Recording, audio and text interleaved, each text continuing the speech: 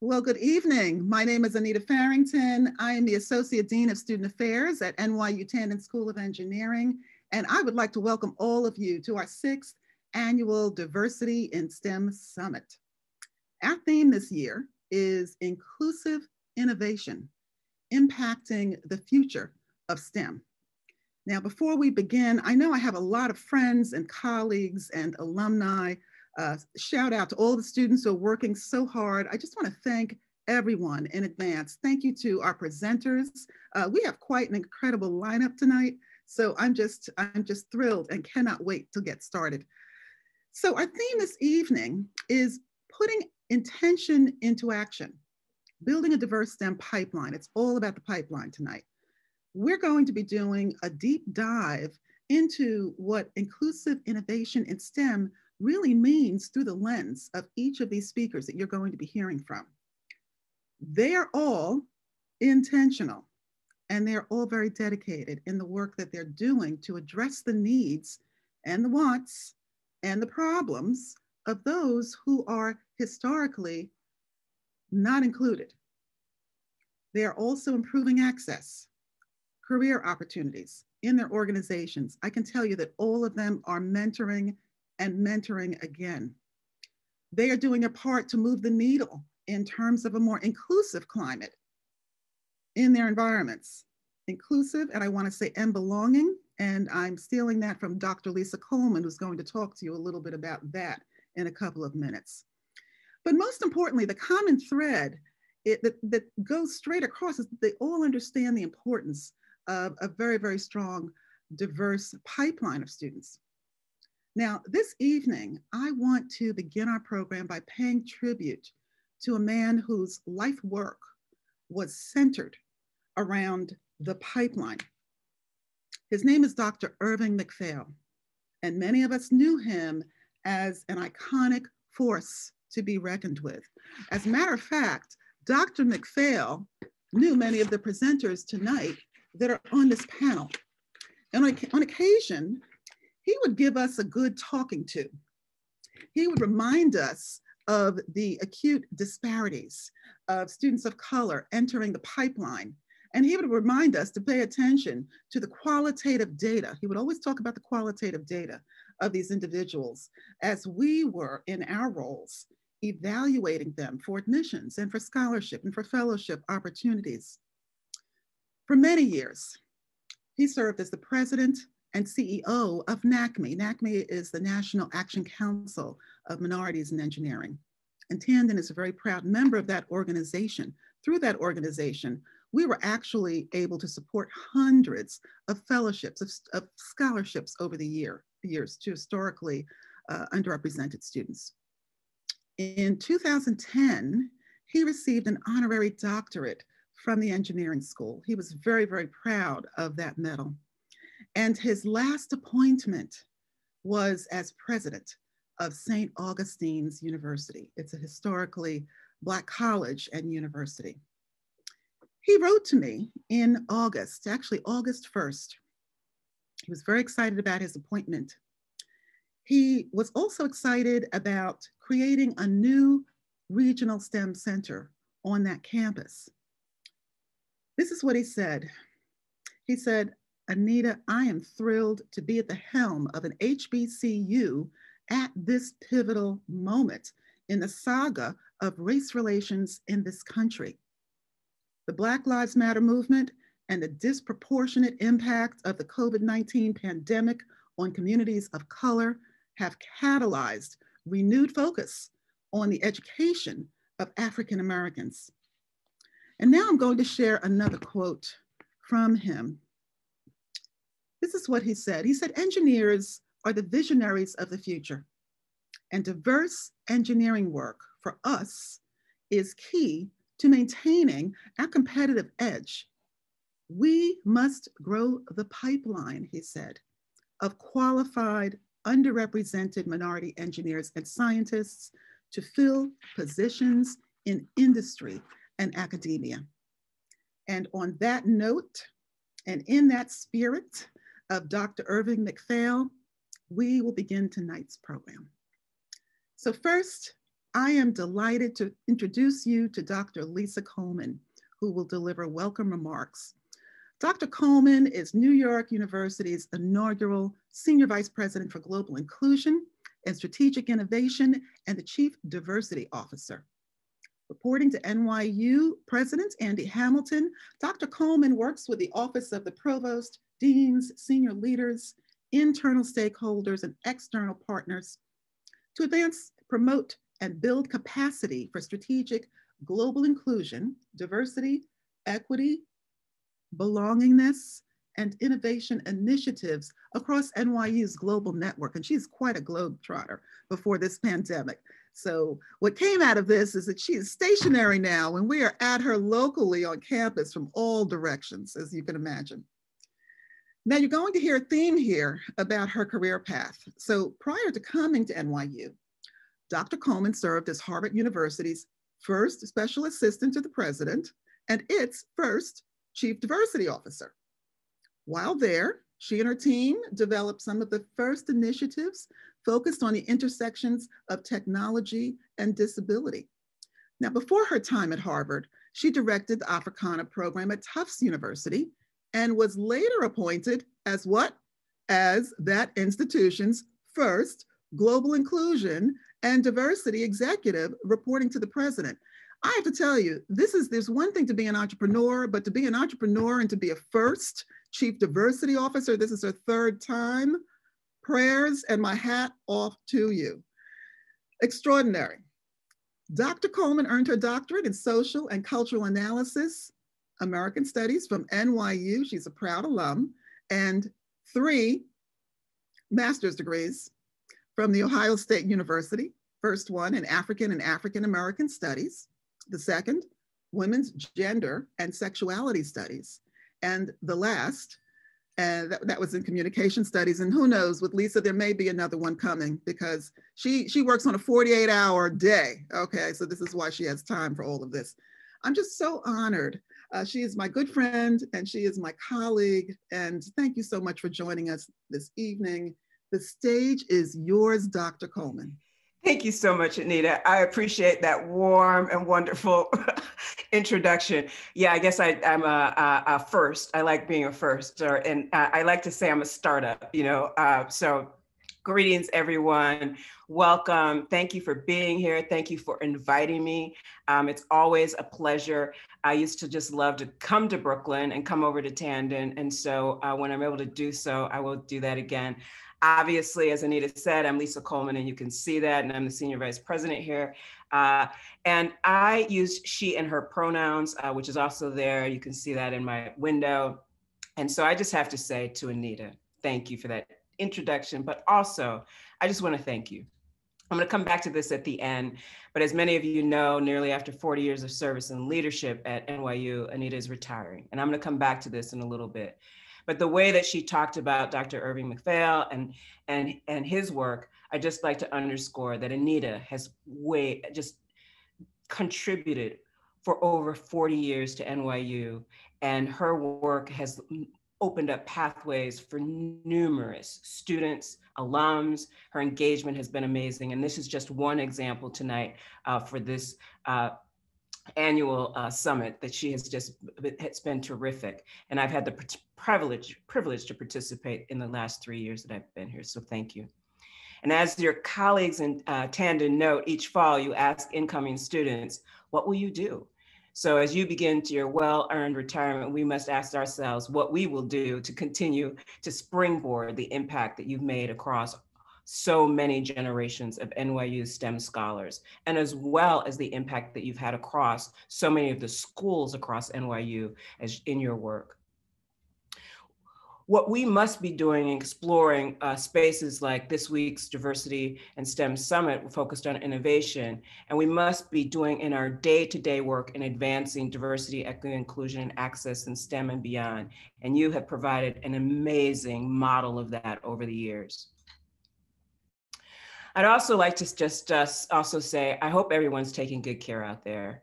Uh, these are challenging times in many, many ways for many people and, and the impact, uh, the disparate impact on people across varying communities, as we know, has been tremendous. So I like to say, uh, please take care of yourselves as you take care of others. So many of us in marginalized communities take care of other people.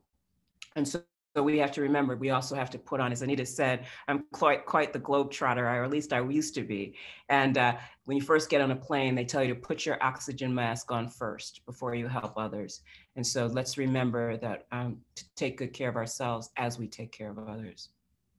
I'd also like to take a moment to honor those who have become before us, our ancestors, the indigenous people upon whose land we all sit, and occupy. I want to honor those whose, whose lives have been lost historically and most recently in acts of violence, in acts of uh, discrimination, racism, xenophobia, those known to us and those unknown to us. So please join me in a few seconds of silence and reflection.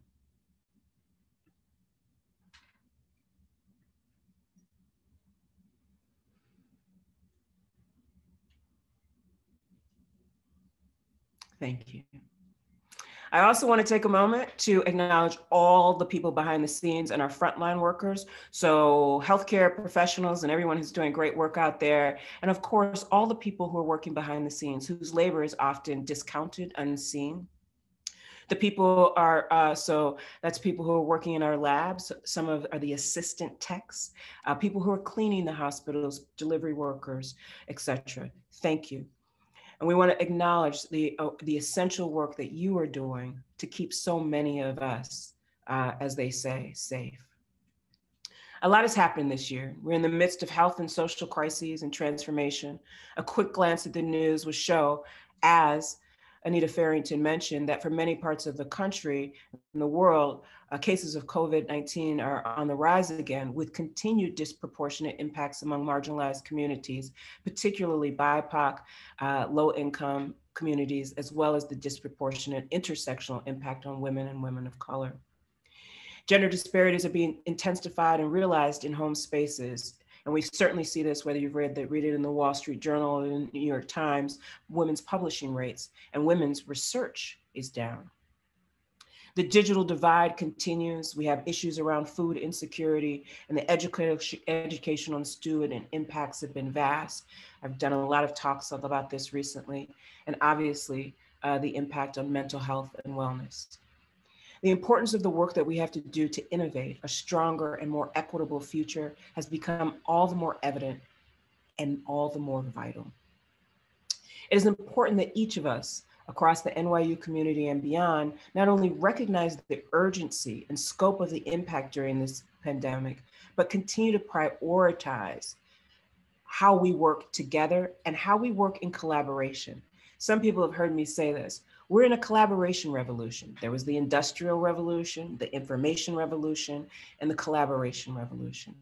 So at OGI, we serve as strategic consultants to help us think about what, how these collaborations across our schools, units, and departments will work to advance this, the DEI and access issues.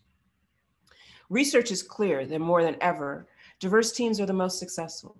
Uh, for those of you who've read Scott Page's book, The Diversity Bonus, high IQ versus a diverse group, the diverse group outperforms. Diverse teams are essential to creating innovative technologies, research, and new knowledge production. We also know that our world's most complex problems require thinking and getting outside of the box. And we've seen that right now, uh, obviously, in terms of some of the work. Who thought that we'd have multiple pharmaceutical companies work together in collaboration? Who thought that we would have varying people thinking about the racial strife and companies thinking about racial justice and racial equity? We've seen the gender global inequities and the digital divides and how people are trying to solve for those broadband access, thinking about how we provide that kind of access for people who, many of whom, and we know people who earn over under a certain amount are usually using their phones for internet access. There's been progress, but we still have much to do, work to do to accelerate our progress, particularly as we think about uh, women and historically underrepresented groups in STEM. So putting into action and building a diverse STEM pipeline and furthering our STEM access is key.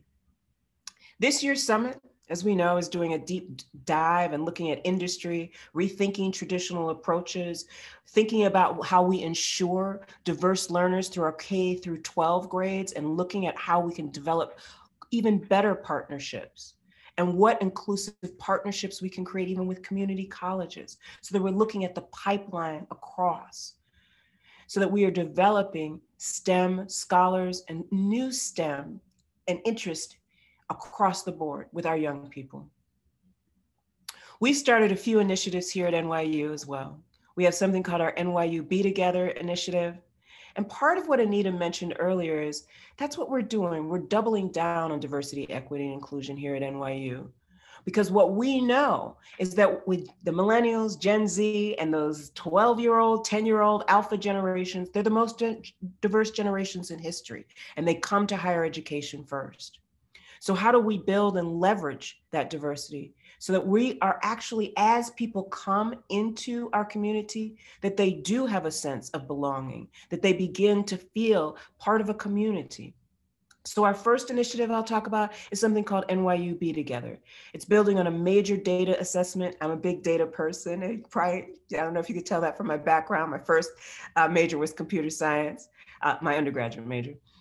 And so we conducted, a, conducted an assessment and, and, collected a great deal of data. And we're using that data to recenter our action and innovation and transformation initiatives. In South Africa, they call chief diversity officers chief transformation officers. That's how I think of myself a transformation officer, transforming, starting up, transforming institutions, practices, policies. We're deepening education and training. We have a new initiative called Responsive and Difficult Dialogues.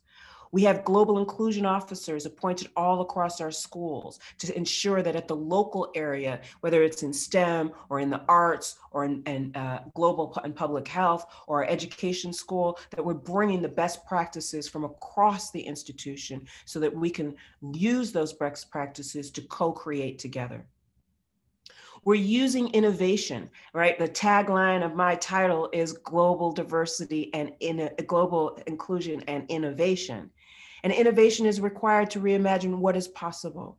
The future of higher education, we just started a new program bringing together uh, uh, scholars from New Zealand and India and South Africa to talk about what the future of higher education will look like and what will it look like as we talk about robotics and AI and STEM partnership with companies and leadership entities. And uh, Anita out there knows we started a partnership with Disney, and we have a great intern uh, actually from the School of Engineering who was appointed into Walt Disney uh, Imagineering. So really thinking about those cross-sector partnerships and how do we grow and influence industry and those industry partnerships. And I'm so glad that we have so many people uh, on the panel who are going to talk also a little bit about that thinking about our maker spaces, right? Bringing together creatives with engineers and thinking about the Institute of Public Knowledge and how we work about creating new knowledge. We have faculty diversification efforts. We know that that's important for our students and also for how we deliver education, right? And deliver on that promise of education that engages diverse minds and diverse research. We have cluster hiring project ongoing. We have mentor workshops. We have publishing efforts to help our faculty get their work out there. We have a new partnership with HR. We have a new partnership with student government. We have, as I said, mentorship programs. These are just some of the work that we're doing. But as I said, it's about transformation, and transformation is both short, medium, and long term. So we're developing those goals as we move along but we couldn't do it without partners like we have in STEM. And so again, I'd just like to thank Anita Farrington. Anita, you have been an inspirational, inspirational leader. As I came into NYU, you were one of the people who welcomed me so wholeheartedly.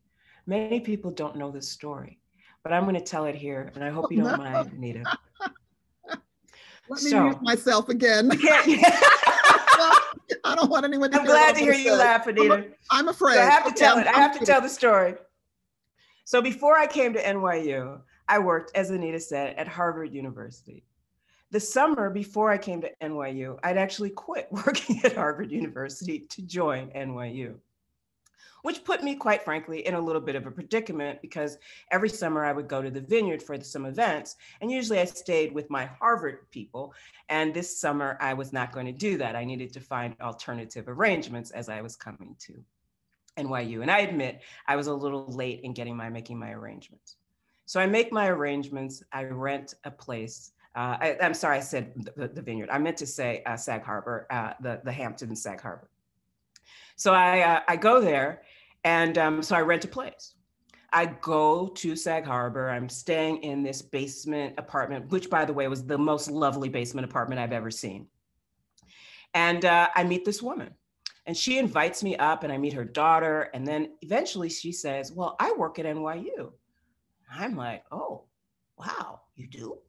And so I don't tell her right then that I'm going to probably be working there because, you know, I'm not sure the I's and the T's have been dotted yet. Fast forward, I come to NYU, and who is it? Who, who, who, who, who do we realize? I'm going to be the chief diversity officer, and Anita Farrington, of course, is in the Tandon School of Engineering. We then remember and reunite, and I have to say, ever since then, it's been just a joy. So I just want to say, Anita, you are actually probably the person that got me to NYU as I was homeless. Oh, trying to find a place to stay. Thank you for taking taking me in. But seriously, I knew then when I met Anita that she was an extraordinary person. And coming into NYU, that was just solidified. If you don't know and if you haven't talked to colleagues all across Tandon, all across, quite frankly, all of NYU, what they will tell you is Anita Farrington is someone that you can depend on, someone who is completely committed, someone who has been a steward of so much of what we do in this space. And when you talk to alums, which I love to do, and students, they are just fans, un- unbelievable fans of Anita Farrington because she deeply cares about the students and the alums and this work. We are going to miss you, Anita Farrington. We are talking earlier about repurposing. I'm a little jealous, as I said, I, I want to repurpose sooner rather than later. Um, not sure I'll be able to do that, but I'm trying. But you will be missed. Thank you for your 40 years of extraordinary contributions to advance inclusion in science, technology, engineering, math, and beyond. I don't know what I'm going to do without you, Anita. I probably will be homeless, but I'm going to figure it out. So thank you, thank you, thank you. Tandon has been better because of you. Lisa Coleman, thank you so much. You weren't supposed to do this because I've got to get through. I've got to get through tonight. Okay, this is. I know, I know, Anita, but I got to take the time. I'm going to do it again, but I'm just doing it right now. I, I had to do it this is my last official event for all, for, for all of our participants that are that are saying what is going on here um, but listen let me i will talk a little bit about the next chapter thank you lisa thank you thank you and you know what i am repurposing so keeping my eye on what's and i'm an nyu alum Oh, I know you are. See, and that's what I'm also afraid of. I know I'm going to get the emails. Lisa, what are you doing? Oh, I'm going to keep my eye on everything pipeline related. So listen, thank you so much. Thank you. Let me just end say thank you to all of our engineering partners across the school, to all the people with whom you work, and thank you to everyone who's organized the panel. I have to say thank you to Randy and of course to our rock star panel. I'm excited for this discussion. So Anita, I turn it back over to you. And all I can thank say you, is hugs. Friend and colleague, thank you. You always have a home here in the Hamptons. So okay, here we go. So now I would like to, I'd like to invite Tandon student Dorothy Belton. She is going to introduce our featured speaker, Dr. Karl Reid. Uh, thank you, Dina. Hi, everyone. My name is Dorothy Belton. I am a senior at Tandon studying electrical engineer. Um, I am also part of the executive board at the NSBE chapter here. I am the program chair and also past president. And I do also serve on the Region 1 board for NSBE as the Metropolitan Zone Chair. Dr. Karl Reid was named the Executive Director of National Society of Black Engineers, NSBE, on June 2nd, 2014, marking his return to the organization that gave him his first major le leadership experience 32 years late, earlier. For the past 22 years, he's been a leading advocate for increasing college access, opportunity, and success for low income and minor minority youth.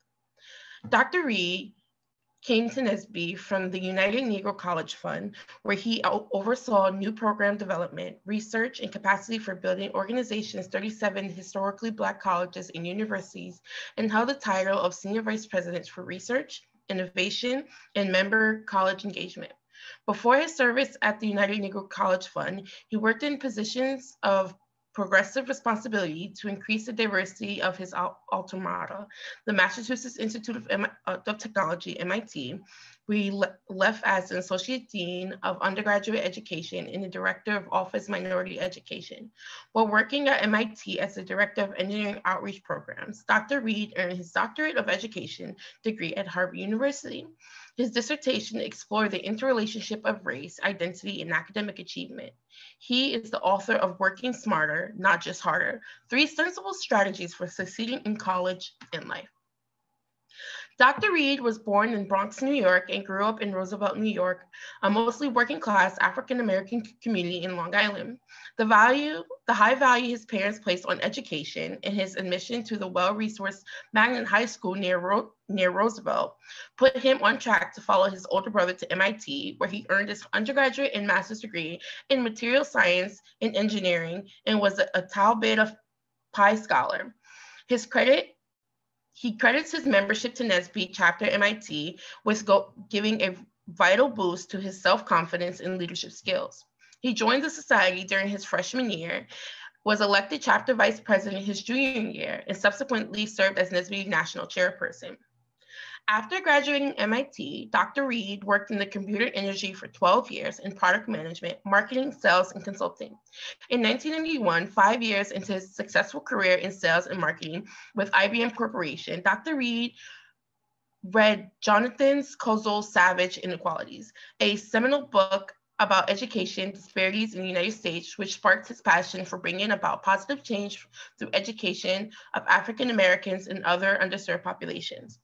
Dr. Reid sits on the DC STEM Council, the Dean's Advisory Cabinet of Harvard University School of Engineering and Applied Sciences, as well as the Dean's Advisory Council for Diversity, Equity, and Inclusion at the University of Michigan College of Engineering. He holds memberships in the American Association of Engineering Societies, the American Society of Engineering Education, in the Council of Engineering and Scientific Society Executive. Dr. Reid is also a founding member of the 50K Co Coalition, a national effort to produce 50,000 diversity engineering graduates annually by 2025. He was recently named a top 10, a top 100 executive in America by Uptown Professional magazines. He is a frequent contributor to the National Diversity Engineering Dialogue, author of several commentaries pieces and quoted in numerous articles such as Forbes, The Wall Street Journal, US News and World Report, and the Hechinger Report. Dr. Reid is now supporting NSBE's National Society, NSBE's National Executive Board and societies of 25,000 active members in reaching the main goal of NSBE 10-year strategic plan to end the underrepresentation of Blacks in engineering in the US by annually producing 10,000 Black engineers in the country by 2025. Now introducing Dr. Karl Reid. Dorothy, thank you so very much for that uh, kind introduction and, and generous uh, uh, words. I, I very much appreciate this. I was trying to give you the, the cut. It's like, you don't have to read all that, but I appreciate it. And um, I'm so honored to be a part of this, uh, this uh, Diversity in STEM Summit uh, as well. And, um, and I, I kind of echo uh, Dr. Coleman's words about Anita Farrington. Uh, we got to know each other over the past couple of years, really, uh, through the GEM Fellowship and a number of other initiatives uh, that we've we've had, and we also share a love and appreciation for Dr. Irv McPhail, who was uh, a mentor of mine and a partner in the 50K Coalition. In fact, he participated at when he was president and CEO of NACME in every single one of our convenings, and he served on our advisory board. And we um, we actually owe him a great deal of debt because he designed our community college linkage strategy for the 50K Coalition, which is to produce 50,000 Black, Latinx, female, and Native American engineers annually by 2025. And so, um, so it was a huge loss um, that uh, when when we lost him earlier this year. Uh, but he continues, uh, his legacy continues through me and and many others, countless others. It's it's it's remarkable what kind of life uh, he's led and and the legacy he's led uh, as well. Also, want to give a shout out to NYU. Uh, my sister's alma mater. She earned her her law degree from from NYU many years ago, and uh, I have a special place in my heart for for the for the university uh, as well because of that that experience. In fact, I left the prom in Boston, um, took a train over, uh, took a bus overnight just to see her to participate in her graduation uh, one year. And so uh, I have special memories, although I was pretty upset about uh, shortening the prom. Anyway, um, so what I things I want to do is uh, talk with you about this this whole notion of of diversity, uh, equity, inclusion, and and I, I, tell you, I was so very impressed with Dr. Coleman's presentation. I just kept saying amen, amen, amen, uh, because of the because of uh, how she framed this. And I know sometimes it takes uh, two or three times to kind of leave an impression. So you will find that a lot of my my messaging will be very similar to hers, and it will build on on some of the work that she's done and some of her words as well. In fact, Scott Page, who who wrote the diversity bonus, uh, is one of my champions uh, in terms of articulating the, the, the value of diversity um, because most people um, who, who get diversity don't just get diversity just because it's the right thing to do, but they get diversity because they, they understand what's in it for them as well. And it's unfortunate we have to get to that, but in some populations, that's really what, what's necessary. And so Scott Page has done a, a great deal of work uh, in that area.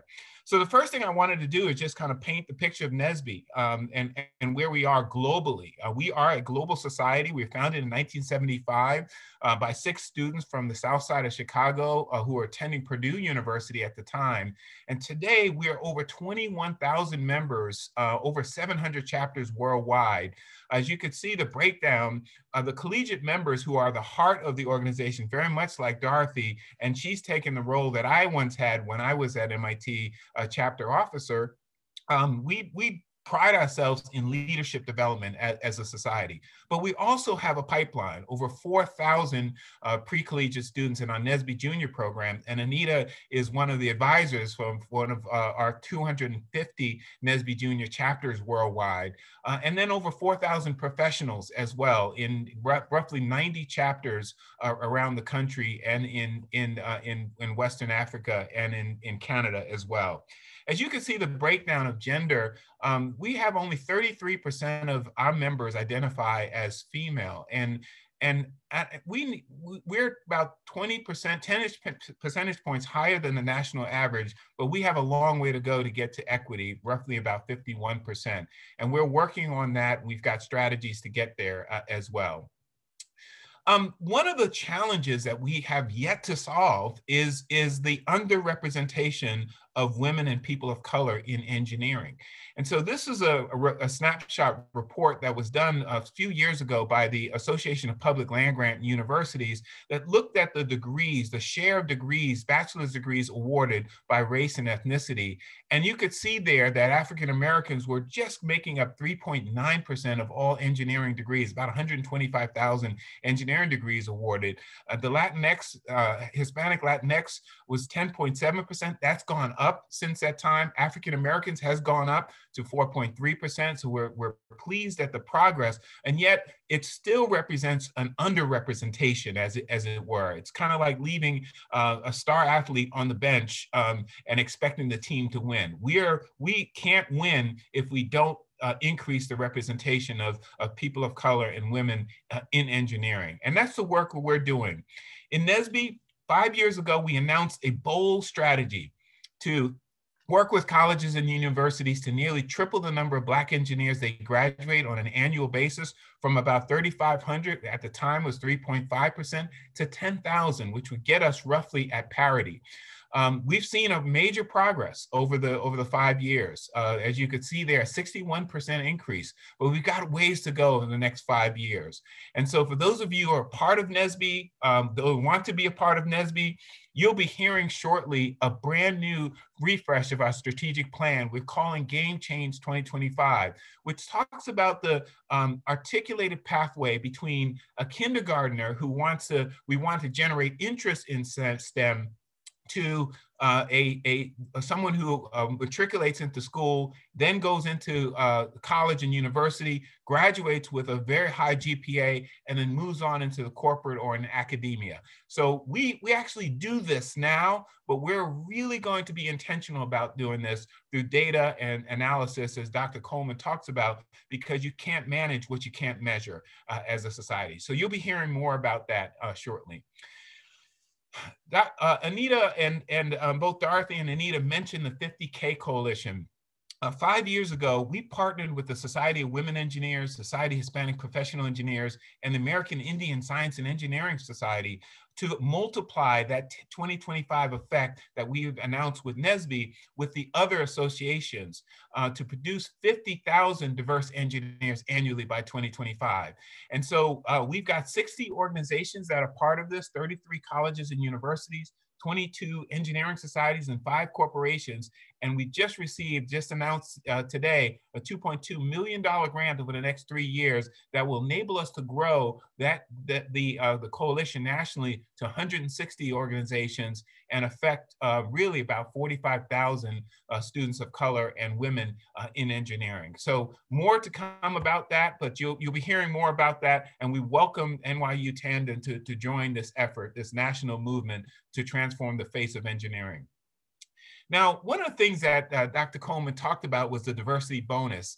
And I love this, this whole notion of diversity because now we are, are understanding that there's a value associated with diversity. This is not just a good thing to do. There is an imperative, a strategic imperative that companies that are embracing diversity are really experiencing. And Frans Johansson, uh, who is uh, who is uh, at Harvard Business School, uh, when he was at Harvard Business School, came up with this whole notion that when you bring together uh, people and concepts and frameworks at the intersection is birth new innovation and new ideas. And so he he, he kind of talked about a, a, few different quotes that are associated with it. And I want to focus on this the last one, given the time that's available. He says the best chance of coming up with great new ideas is when we mix diverse perspectives, fields, cultures, and backgrounds. So I'm a materials engineer and uh, by training. I got a bachelor and master's degree in materials engineering. Materials engineering was the combination of the intersection of physics, chemistry, and engineering together. So in and of itself, it, it is it is the the the um, the product of this Medici effect. The Medici family was behind the Italian Renaissance, bringing together all these cultures that gave birth to a whole new way that human beings kind of interacted and innovated as well. So there's power in diversity. However, so this is why we do all the things that we do, building the pipelines, uh, tripling the number of Black engineers, working with uh, the other organizations. But I do want to say that diversity is not inclusion. So all this effort to increase the numbers and the representation is one thing, but creating inclusive environments is the key, is the success. In fact, that's what uh, McKinsey and Company announced recently in their report in 2020 that said that hiring diverse talent isn't enough or enrolling diverse students isn't enough. It's experience they have in the workplace or on the campus or in the classroom that shapes whether or not they remain and thrive. So the problem is not the student. The problem is not the employee. The problem is not that woman who is the only engineer on the shop floor, et cetera. If she leaves or if they leave or, or if, if, if, if someone who is a, a trans leaves, it's the problem is the workplace, it's the culture. And so one of the things we have to do is kind of shape the culture to be much more inclusive so that everyone can feel that they can thrive. Then, of course, we've had this other major set of challenges, uh, as Dr. Coleman talked about, the, the global pandemic and, and its disparate effect on Black and Brown communities and low-income communities. The economic crisis, five percentage points higher uh, uh is the unemployment rate among African Americans, one of the largest gaps um, than, than it's been in history um, in recent history. And then, of course, the killing of George Floyd in, on May 25th sort of shifted the focus and caused a national reckoning, not just about race and ethnicity and racism, but about equity and social justice. So diversity is important. Inclusion is key, but the next thing we have to really work on is equity making sure that people who bring different uh, uh, experiences and skills and abilities to the table have what they need in order for them to thrive. This is not just about equality of inputs. You can have equality of inputs, as this cartoon points about, but you still have inequity in that regard. What we're talking about is creating an equitable environments to ensure that everyone can thrive at, at, at, at their levels. So, so I've, I partnered with a group of people uh, in the Washington, D.C. area to launch a brand new nonprofit called the Black IDEA Coalition. IDEA standing for Inclusion, Diversity, Equity, and Action. It's a nonprofit. And the whole goal was to help companies and other organizations translate their pledges of, of, of racial equity and working with Black lives, supporting Black lives, et cetera, to action moving moving from pledges to action and so we've kind of identified as part of our model a five uh, elements, uh, five elements of the component. One is not just to focus on diversity, right? Representative parity, including those at the board of directors. Organizations should be looking at the board of directors, their C-suites, their the mid-managers, et cetera, but also around equity, looking at and assessing and documenting any kind of cases of, of, of disparities in terms of employing statistics on recruiting and hiring, compensation, departures, who's leaving, EOC complaints, et cetera, making sure that we achieve equity. And when there's disparity, addressing those as well. I talked about inclusion. And what do I mean by that? It's not just dealing with microaggressions and, and, and eliminating or mitigating implicit biases, but also creating an anti racist institutional culture. I'm having discussions with CEOs saying it's not enough to be an assimilationist. It's not enough to be a non racist. You have to be actively working on being an anti-racist, uh, whether you're black, brown, blue, or green, doesn't really matter in order to uh, really create inclusive environments. And then finally, uh, second, uh, second to finally is the ecosystems, looking at uh, the networks, the supplier networks and other uh, networks to ensure that you as a company or you as a university or you as a student are working on the things in the community so that you're making the communities better as well.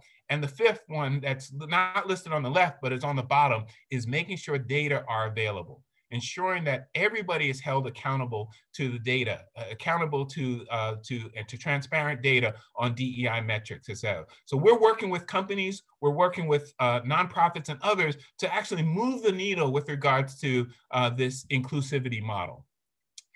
Then the last thing I'll just say is uh, inclusion is that optimal state. So remember that picture of equity and inclusion, right? E equity and equality. They were all behind the fence. What we're trying to do is get everybody out onto the field and contributing to the game, as it were, uh, as a result. And so what I mean by inclusion is requiring the, the experience of feeling valued for your uniqueness as a person, as an individual, not a person of color, not a black person, not a white person, not a gay person, et cetera, et cetera.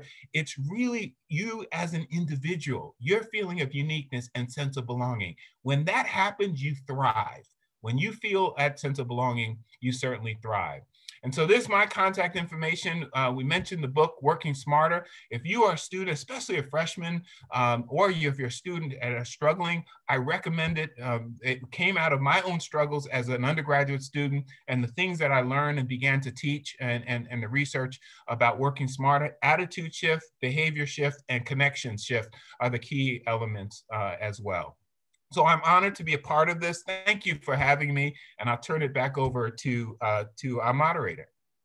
Well, thank you, Dr. Reid. As always, I am taking notes. Every time I see you present, I am busy taking notes. Thank you so much. From bottom of my heart, I know how busy you are.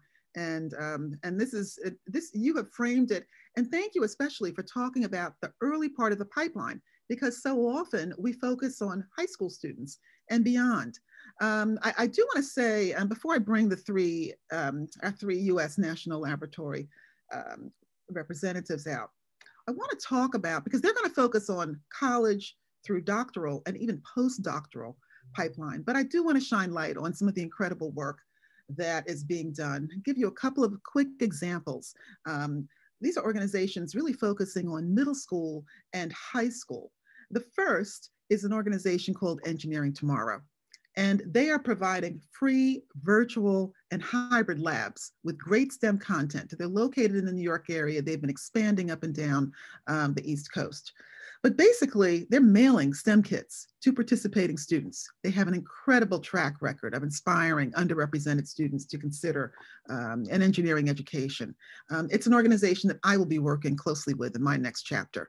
And then also, Karl Reid introduced me to an organization called Code for Life. They're teaching coding and web development to middle school students in low income areas in the South Bronx and East Harlem. And they're equipping these students with both uh, life skills and also with tech skills. And then finally, I have to give a shout, a shout out to our K through 12 program because they have for many years been uh, providing cutting edge programs and labs with incredible STEM, STEM content every summer, every summer. Again, fueling our diversity pipeline and they and they are tracking the data because we're very interested in seeing how these students in these programs translate to Tandon engineering students. So thank you so much. Um, the contact information is in the chat. Um, I think Alethea is putting that in there for me. And there's also um, contact information about a new organization called STEM Impact, which I will talk about um, before I close. So now I, I, am just so delighted to have these three representatives from US National Laboratories.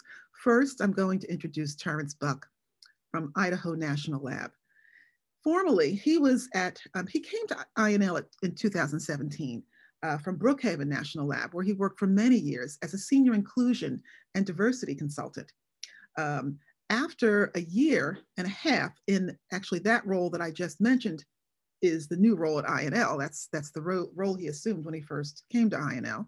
But after a year and a half in that role, he became the new Senior Talent Acquisition Diversity Lead.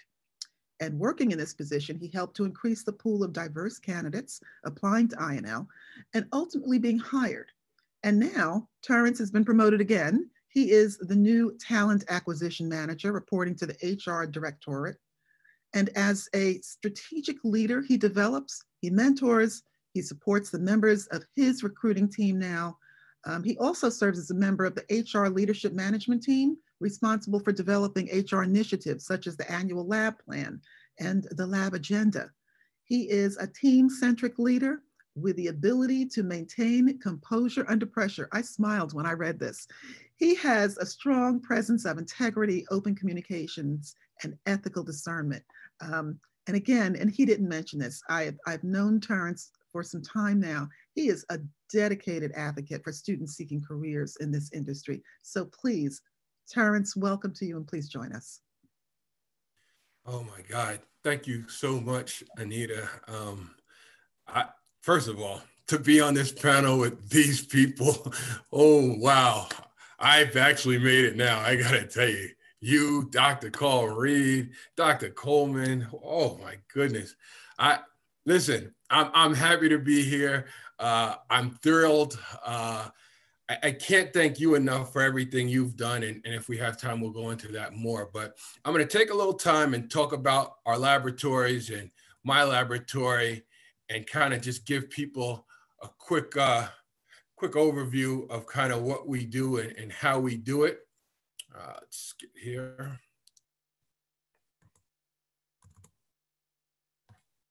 All right, hopefully this is coming out in slideshow. I can't tell. Yes, you're good. We can see it. Okay, great.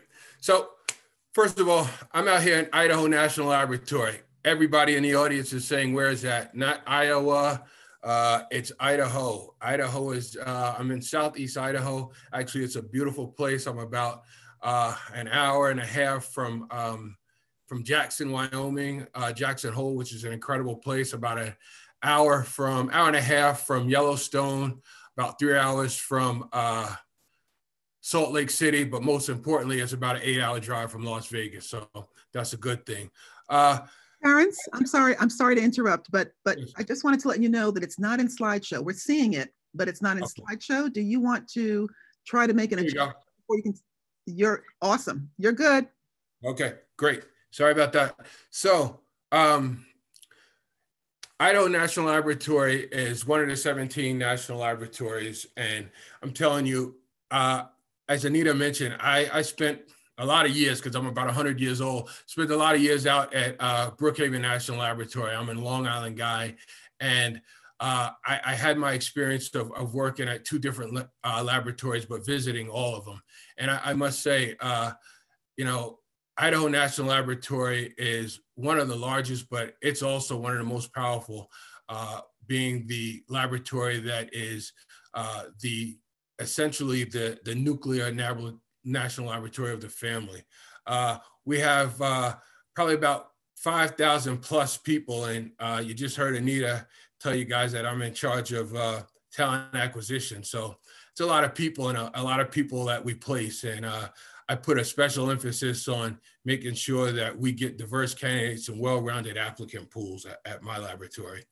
Uh, our vision, INL will change the world's energy future and secure our critical infrastructure.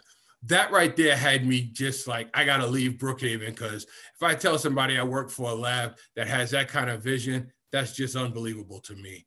So uh, I'm very excited about what I do. Our values, uh, excellence, integrity, ownership, teamwork, safety. But let me tell you what we just added inclusion. To Dr. Reid and Dr. Coleman, uh, for what you guys said, we, we have added inclusion as one of INL's values, and we mean what we say. I've been here three years, three and a half years now, and we've doubled the uh, women and underrepresented people here, and we're looking to do even more. I want to give you guys a quick, quick uh, look at the 17 national laboratories and where they're located. We have a representative from Princeton Plasma Physics Laboratory. We also have a representative from the um, National Renewable Energy Laboratory. But you can see these labs are spread throughout the nation. And the one good thing I'll tell you is I've been to all of them. And I would love for you all to work for me at INL but I have connections everywhere and I'm not greedy. As long as you can get in STEM and work for a national laboratory, I'm certainly willing to help you. So uh, my email was on the title page, but I, I, mean that when I say that. My goal is to get more diversity in STEM throughout the nation. So uh, take a look at these laboratories. Brookhaven is a great laboratory to be at. Uh, I will tell you that uh, SLAC is a great laboratory, Pacific Northwest um, Lawrence Livermore, all great laboratories that all do different things. So if you get a chance to go to the DOE website and check them out, please do. A little bit more about my site. It's huge. Uh, guys, I, I, work in a, I work in uh, what they call the town office here, which is about 15 minutes from my house. But when you start to go to the different sites we have, like our reactors and our materials fuels complex, uh, we're talking about 45 minutes to an hour and a half away. So it's 890 square miles. Uh, we have four reactors, we have two spent fuel pools, and 400 plus buildings. So our laboratory is huge. What we do, we uh, have uh, nuclear science and technology. We have an advanced test reactor. We do materials and fuels complex. Uh, our energy and environment is uh, doing a ton of work in the clean energy sector and also the national and homeland security, which all, let me just put a plug in for that. Uh, I've been working on a project for about eight months now, and our uh, national and homeland security director, his name is Zach Tudor, uh, I wrote up a, a um, reference letter for him to become Black Engineer of the Year in the government sector. And I just got an email two weeks ago that he was named uh, Black Engineer of the Year for the government sector and the work that he's doing in that sector. Um, that's a great coup for him and, and very excited for him and our laboratory. This is what we're working on. We have uh, a Mars rover that we're working on. We're working on some small modular reactors. We do the battery technology for electric vehicles, uh, power grid.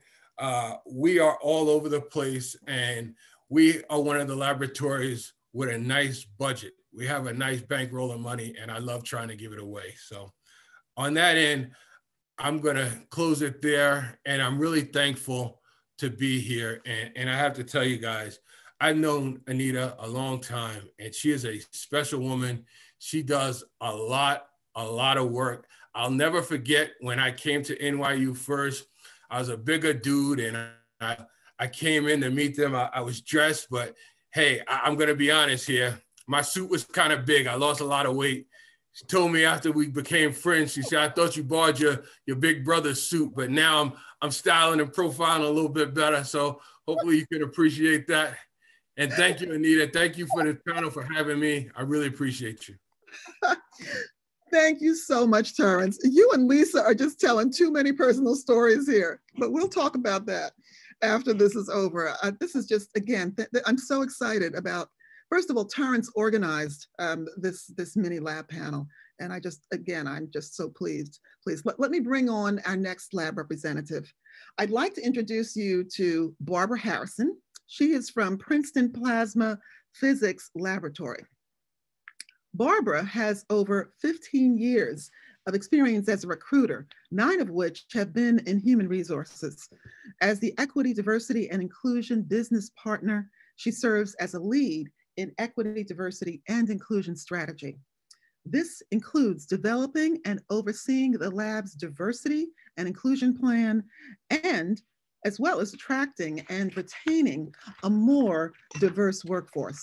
She is responsible for promoting diversity through learning and development and employee resource groups, and also works with the lab's research staff, staff to recruit and maintain more diverse postdoctoral staff as a pipeline to the future workforce. Please, a warm welcome. Barbara, please join us. Hi, everyone. Uh, Anita, this is my first time meeting you, but we will connect because I want to sure. be able to tell a story like everyone else. Um, Terrence, thank you again for inviting me. I really, truly appreciate it. I will um, share my screen. I have one slide that I would like to, to share. Um, so just a moment. And so let's see here.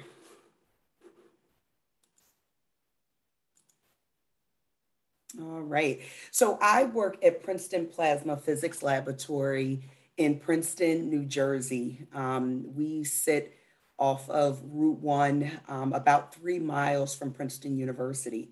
We are, as Terrence mentioned, a um, national DOE lab as well, and we've been managed by Princeton University since 1951.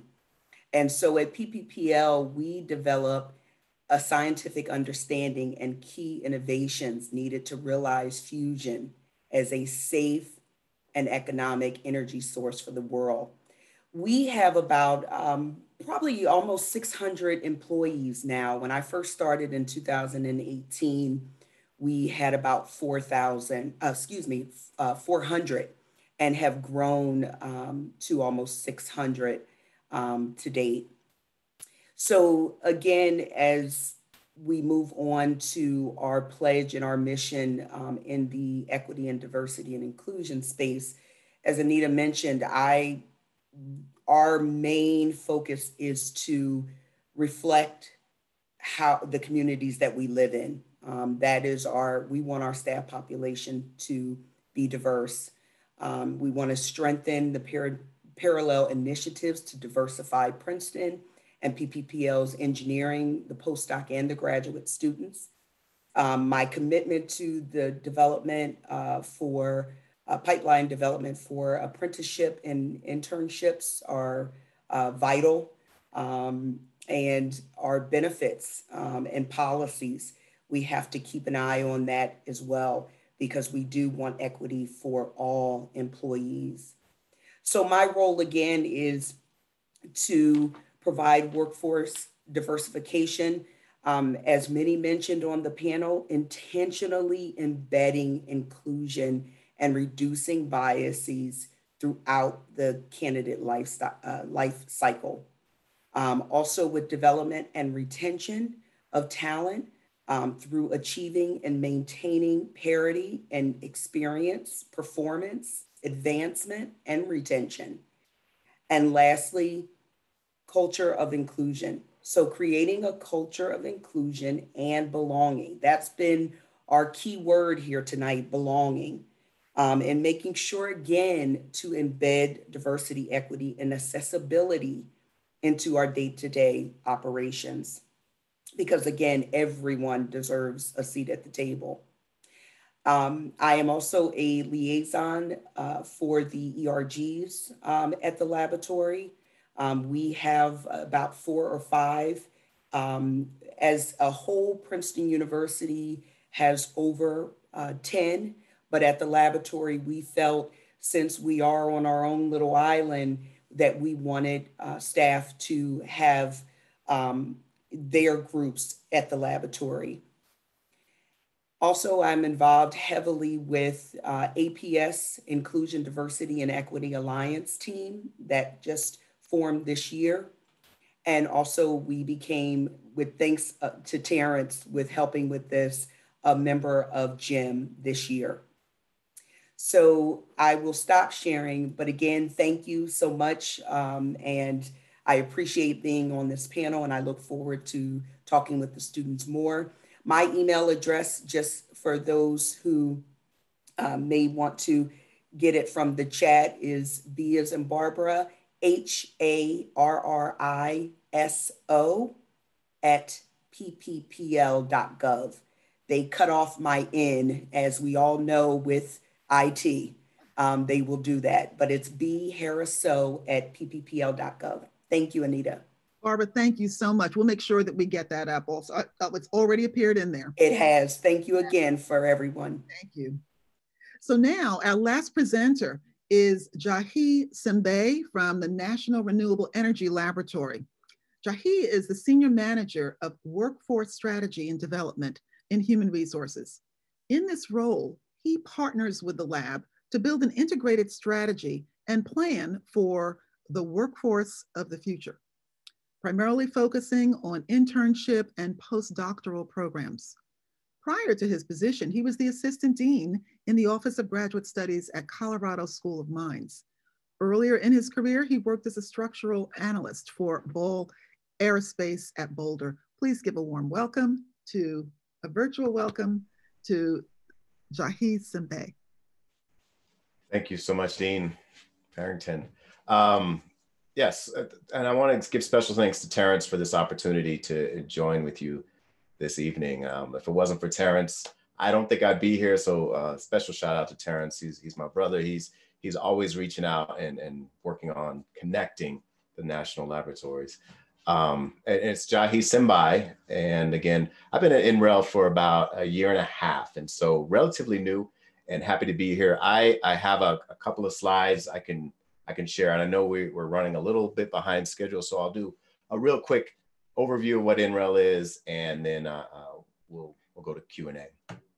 So let's see if I can do this without causing a lot of havoc.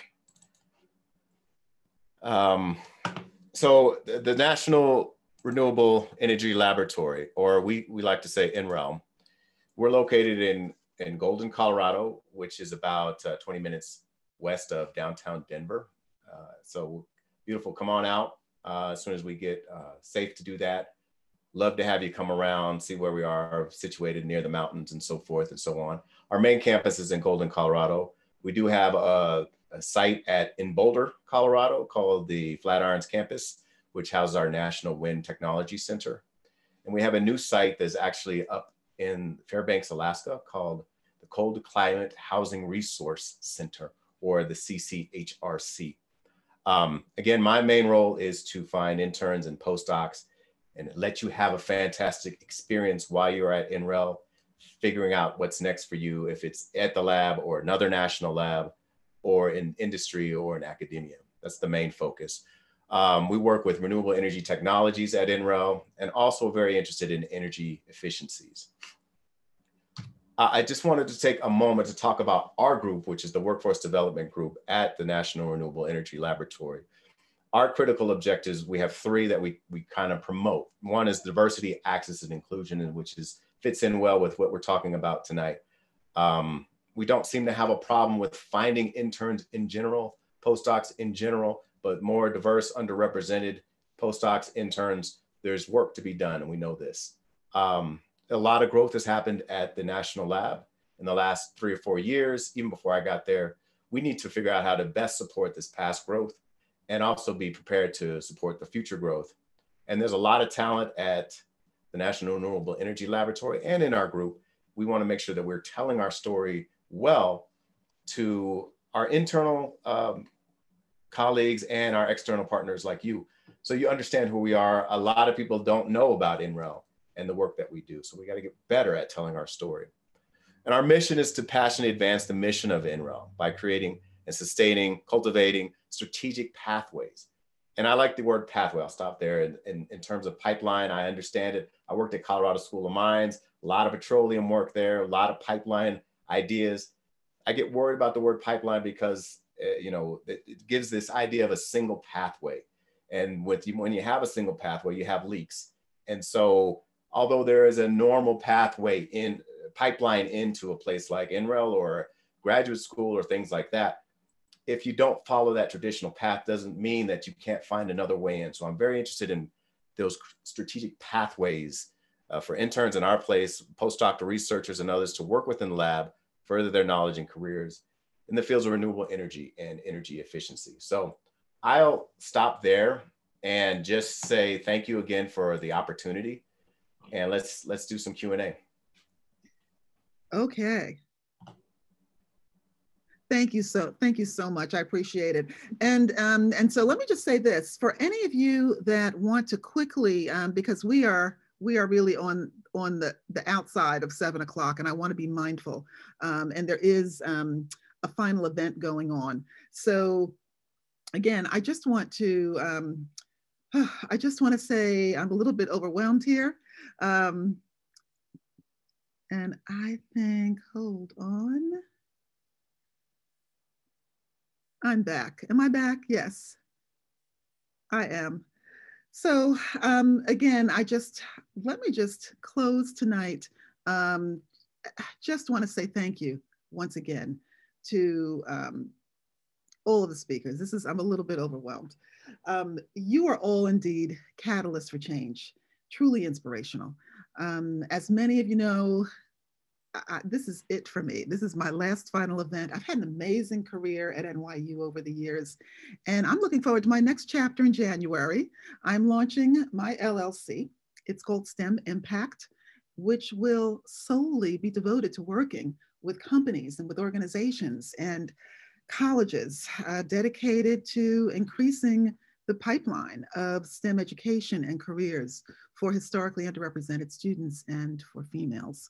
So this event for me has been a perfect ending and a perfect beginning for me. Um, I'm just overwhelmed by friends who have joined tonight. I've been looking at the chat. I've been so distracted because the chat has just been so kind. The comments, um, great content tonight. I can't think of a better way to um, drop the mic, as they say. But I'm not disappearing because I'm doing pipeline work, and most of the people that are here tonight are committed and passionate about this work. Um, to my students and my alumni, thank you for the joy and for allowing me to have a small part in your growth and in your development over the years. I even have an alum from Stern Business School. Doris Givens, a shout out. That's where I started many years ago at NYU. And uh, just so, so happy to see you here. Um, to my colleagues for your support, your friendship over the years. Randy and Alethea, I owe, I owe the success of this summit to both of you to both of you, um, my right, my left, both sides of my brain sometimes.